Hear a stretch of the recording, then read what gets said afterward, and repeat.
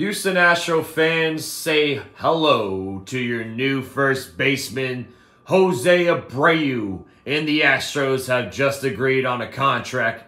Hey, good power hitter. They desperately needed some first baseman help. I mean, Yuli Gurriel had a good postseason, but the Astros needed a new first baseman, and they got the former MVP, Jose Abreu.